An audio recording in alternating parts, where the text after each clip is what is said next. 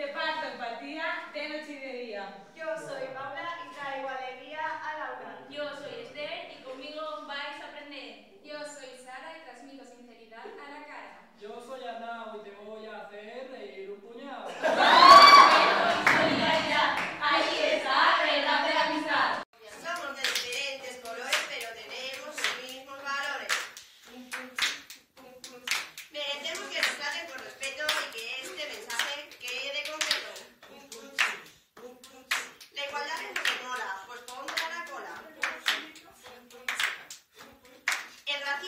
desigualdad no vale para nada.